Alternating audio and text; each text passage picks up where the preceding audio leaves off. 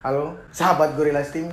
Hello my love, kembali lagi bersama kami setelah sekian lama kita menghilang dari peredaran. Kita bukannya tidak tidak membuat konten, tapi kita tetap membuat konten karena konten kali ini kita berpindah sedikit, bergeser ke mama kota. Jadi singkat cerita kita melakukan perjalanan traveling ke Jakarta. Nah setelah dari sana tidak sampai nginap kita langsung lanjut ke daerah Bogor dan kita memasuki Taman Safari. Jadi pertanyaannya kenapa di vlog itu cuma ada saya sama Eki. Tim yang lain nggak ada karena mereka semua memiliki kesibukan sendiri-sendiri yang tak bisa ada waktu untuk dikumpulkan. Nah kita pergilah berwisata berdua. Namun, siapa sangka ulang pun tiba, kita bertemulah dengan brother-brother kita di sana. Di sana setelah masuk Taman Safari ketemulah pertama si Indro. Si Indro? Iya Indro, Selendro. Selendro Batang.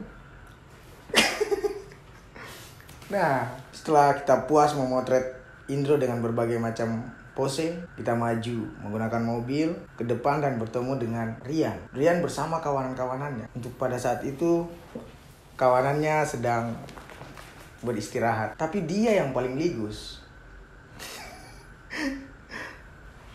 dia yang paling ligus dan cuma dia sendiri saja yang muncul. Jadi cuma bisa ke tag Rian doang. Bagaimana selanjutnya? Sudah untuk lebih jelasnya, lihat aja video berikut ini.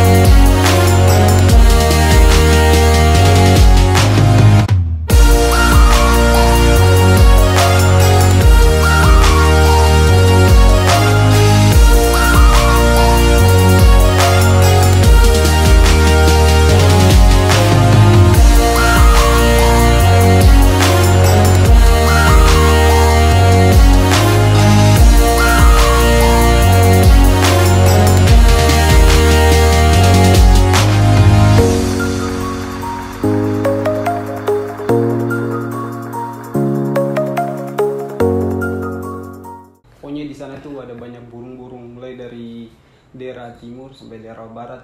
Mungkin hampir seluruh dunia ada burung di situ. Maksudnya berbagai macam burung dari seluruh dunia ada di tempat itu. Ya, bukan burung-burungan lah pokoknya.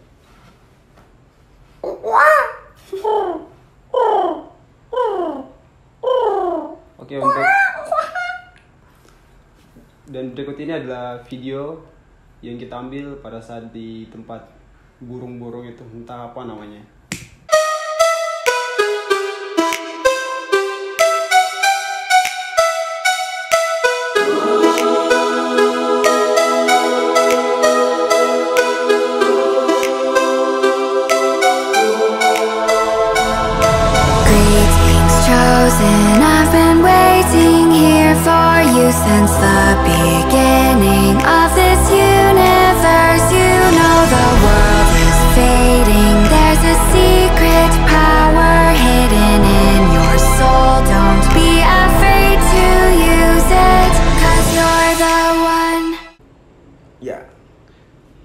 Dari Tempat ke burung-burung. eh, tempat burung-burung itu Ah, kita beranjak ke satu tempat di mana di situ ter- berada cita, jaguar, puma, dan lain-lainnya. Setelah dari tempat itu karena mereka yang saya sebutkan tadi itu ada di dalam akuarium gitu ya Ya seperti kandang gitu. Jadi mereka berderetan terus di kandang masing-masing. Terus di di tengah-tengahnya itu nanti ada kanguru. iya Kangurunya bebas. kangurunya itu ada salah satu kanguru mirip ucup percis Terus ya, ada hewan yang kecil-kecil itu tuh apa namanya tuh? Yang kayak lau-lau apa yang kau bilang itu? oh iya itu lau-lau di Papua bilangnya lau-lau sejenis kanguru tapi kecil itu lau-lau itu nggak mirip ucup otaknya doang mirip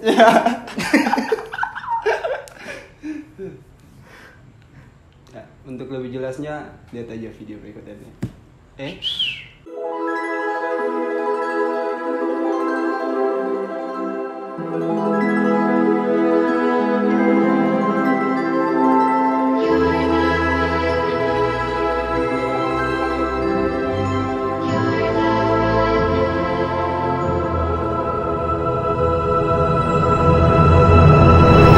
Oke, setelah kita tadi dari tempat di mana kita bertemu asal muasalnya otak ucuk, terus kita berpindah ke Istana Panda itu jaraknya lumayan jauh.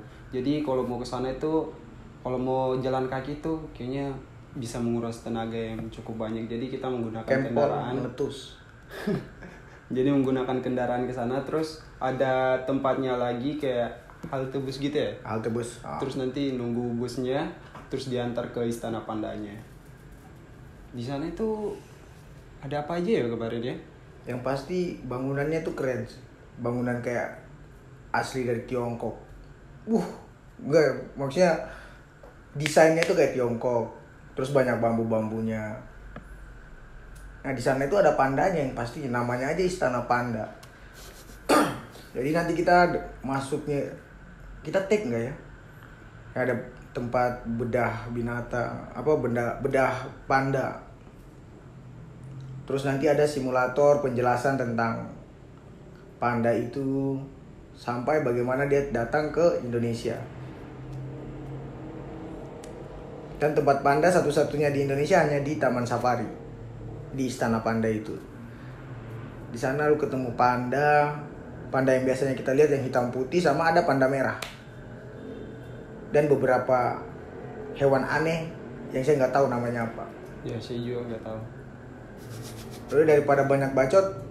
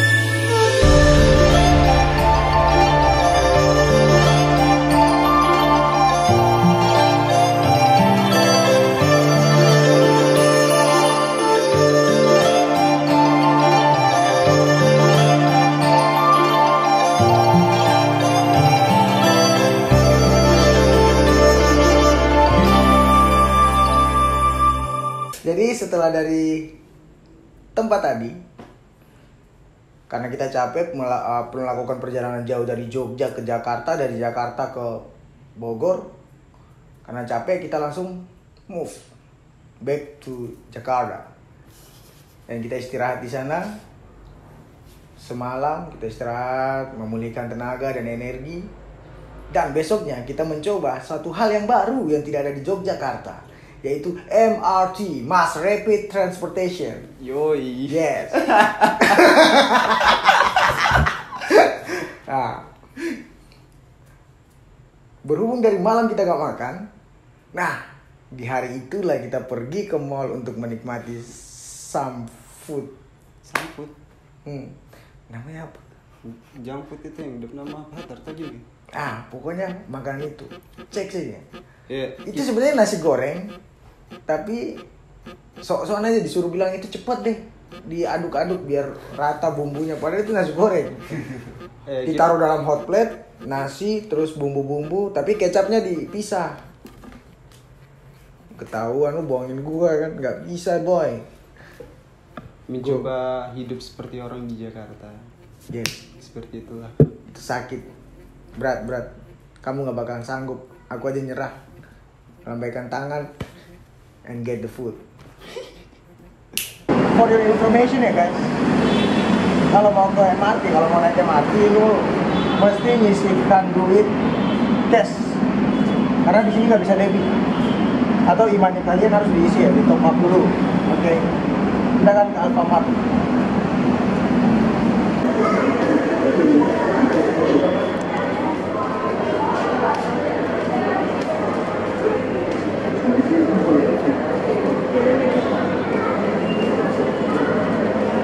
Jadi setelah kita membeli yang mesin itu tuh, yang auto otomatis, kita mendapatkan ya. Let's go.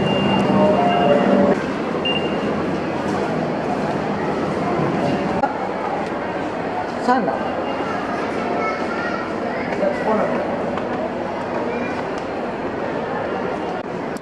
Jadi kalau lu ngantri di MRT itu ngikutin jalur kuning ini. Jangan contoh yang salah tuh ibu yang salah Yang mana yang mana? itu kan jalur keluar tuh ibu itu tuh hijau-hijau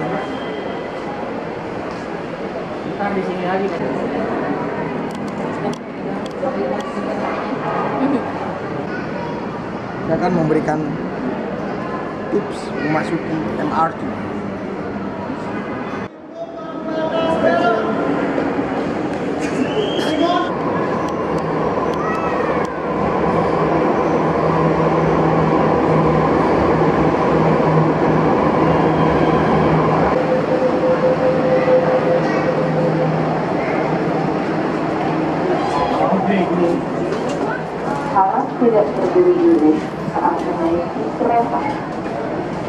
Please do not rush into the train.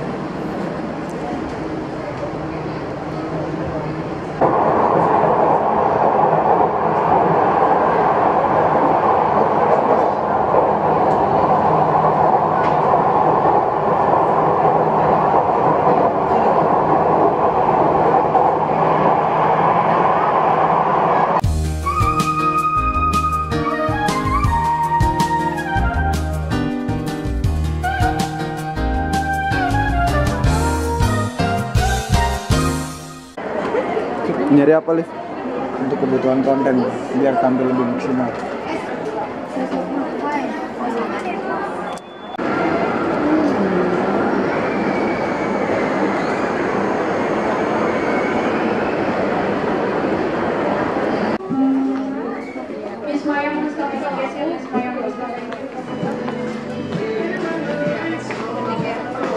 Di Jakarta tuh modal apa harus?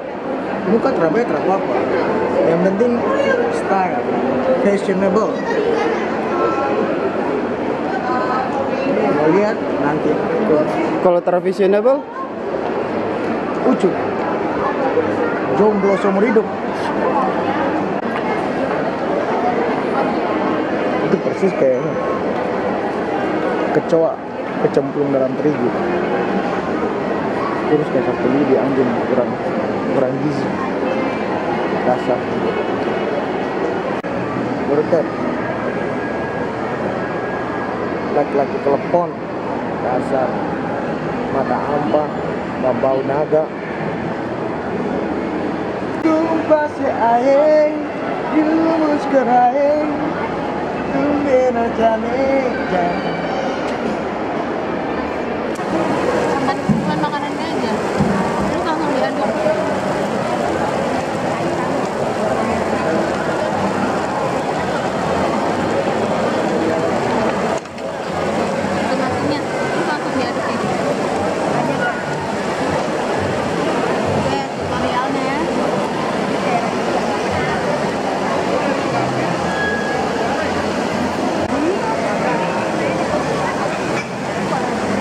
aduk boy.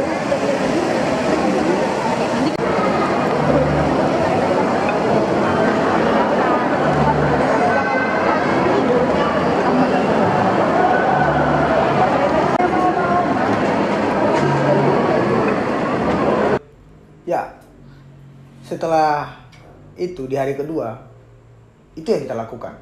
Cuma berjalan-jalan di sekitar mall makan setelah capek kita pulang.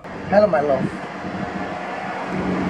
kita akan pergi ke salah satu tempat bersejarah ada like Jakarta Batu Gimana rasanya?